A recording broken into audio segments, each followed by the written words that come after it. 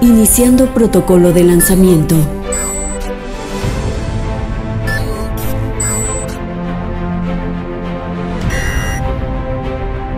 Ingrese código autorizado.